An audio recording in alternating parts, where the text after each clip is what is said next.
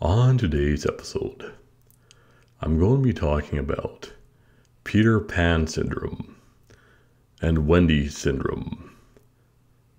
It is indeed a most fascinating archetype and one that really can help explain the narcissistic epidemic.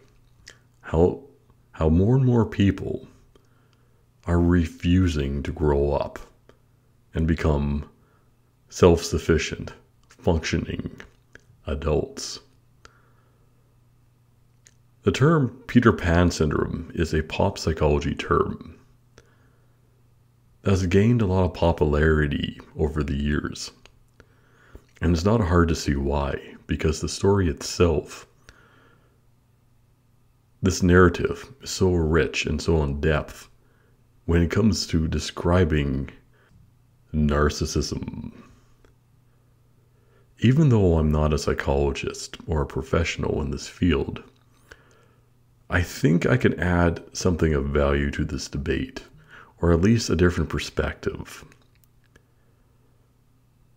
I took the time to watch several different plays online, and there's slight variations to the story, but there's an overall outline or overall theme that we can see through the different movies and the different plays. But let's take a closer look at some of the major parts we see throughout these different plays.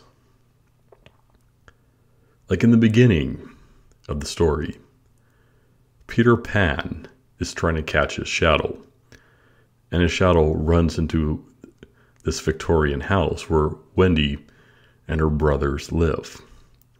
So Peter Pan, right from the beginning, is trying to catch his shadow. He is fighting with his shadow. That's a pretty rich metaphor. For narcissists, argue with themselves. They're in conflict with themselves. And they often drag others into that conflict. One can see this behavior with a lot of drunks, for example.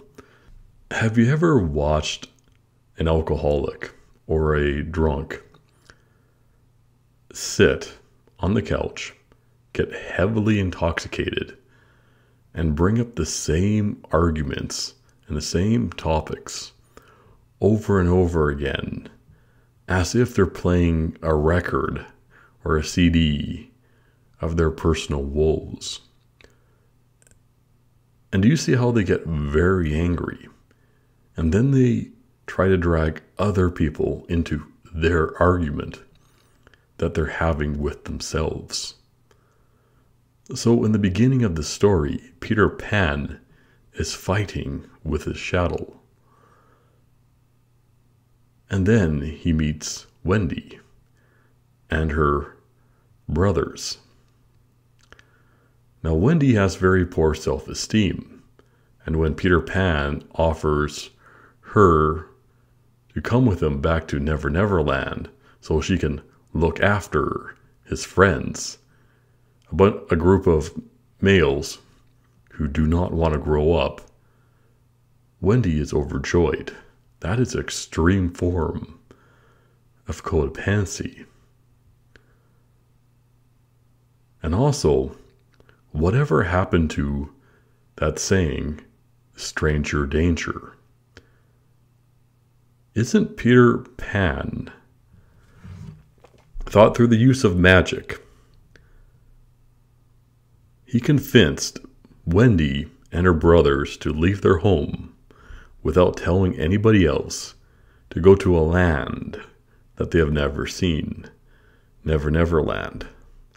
Is this not a form of narcissistic isolation? Is Peter Pan not isolating his victims. He clearly is. He's bringing them to his world and forcing his view of the world onto others. He's projecting his internal reality onto others. And he's manipulating others people's perceptions and redirecting them to his own. But think, think more about this. They're flying to Never Never Land, and Peter Pan fails to mention there's a civil war going on on the island between the Lost Boys, the pirates, and the First Nations people. Peter Pan willfully, I, I think, decided not to mention that fact. But also look at Peter Pan's friends, the Lost Boys. They're living in trees. They refuse to grow up. They're wearing Halloween costumes. And they have this group handshake where they spit on their hands and they and they do this group handshake. Isn't this making them so socially awkward that they could never leave the island, even if they wanted to? How on earth would these lost boys find employment in the real world? I mean, all they know is wearing Halloween costumes and having these strange group handshakes. How can these individuals even function or prosper in normal society? So, Peter Pan has subjected these individuals to infantization. But also look at the military like control he has over them. They'll salute him as if he was a general. But also look at the conflict between the three parties the Lost Boys, the pirates, and the First Nations people. Isn't Peter Pan more or less creating conflict between all three groups? Just so, and he finds this very entertaining. Isn't this a sign of antisocial personality disorder? Think about it. If you're constantly bored and you constantly need to create chaos, is this not a sign of a personality disorder? And also with the pirates, who wronged who first? Now, Peter Pan often boasts about cutting off Captain Hook's hand. So, who offended who first? And why would Captain Hook have any interest or care Peter Pan? They're living in a forest in trees. They don't have any gold. Pirates seek after gold and wealth. These are a bunch of people wearing Halloween costumes living in the wilderness. But yet, Peter Pan cut off Captain Hook's hand. So, who wronged who first? And who's really the victim here? But as the story unfolds, you see the conflict between all three parties. Peter Pan is manipulating all three parties. And at the end of the story, in many of these variations of the story, there's often a duel or a fight where Peter Pan challenges Captain Hook to a fight. Captain Hook has a sword where Peter Pan enters the fight with his knife. So he's bringing a knife to a sword fight. Is that not a form of grandiosity? Or perhaps a form of the Dunning Kruger effect? Or a person's inability to judge future consequences? And do you see how often he through his actions and his choices. Those around him often fall into danger. How often, because of his own actions, his friends get captured and he goes and rescues them, even though this conflict is, is of his own making. Is he not creating a form of Stockholm Syndrome where the people become dependent on the very people who are harming them. Think about it. Is this not a form of Stockholm syndrome? So you got infantilization, you have chaos among multiple groups, and now you have Stockholm syndrome combined with a Dunning Kruger effect, i.e., challenging a much larger opponent to a sword fight, but you bring a knife to a sword fight, and then you convince yourself you're the hero of the story.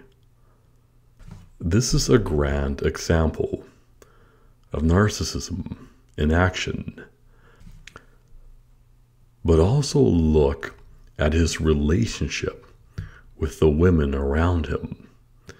Do you see how he manipulates women who are natural caretakers or natural nurturers to look after him? He manipulates them so he doesn't have to grow up. So, do you see the whole story?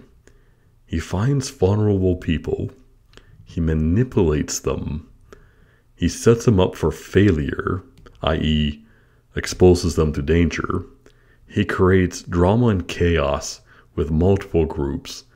He then convinces himself he's the hero and not the villain.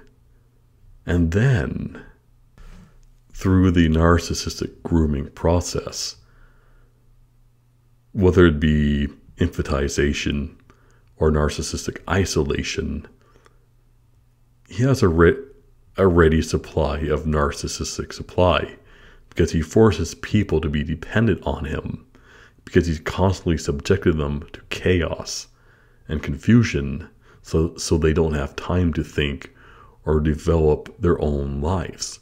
He also controls the narrative because they don't have time to think, they're too busy reacting to the danger that's around them.